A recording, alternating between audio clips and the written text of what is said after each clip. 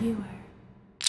Four years ago, Delonte West was an NBA pro at the top of his game. This week, he was found barefoot and wandering in the parking lot of a fast food chain in Texas. Images are surfacing of West appearing to be disoriented, with his head tilted back and his eyes looking closed at a Houston Jack in the Box. When a fan approached him, asking if he was in fact the former first round pick himself, he allegedly told one, I used to be, but I'm not about that life anymore. Some took the opportunity to make fun of the former player, who earned more than $16 million over his career, but many saw the pictures as unsettling evidence of West's bipolar disorder with which he was diagnosed in 2008. Cammy writing, I find it very disturbing how people poke fun at Delonte West when he is clearly struggling. What if that was your son, husband, friend? And Audria adding, Delonte West is a reminder that mental illness does not discriminate. Many expressed hope that former teammates or the NBA would step up, like Lonnie on Twitter who writes, I hope the at NBA family find Delonte West and get him some help. Please take care of your own, regardless the situation. He's still family. The NBA has yet to respond. For Veuer, I'm Kevan Kenney.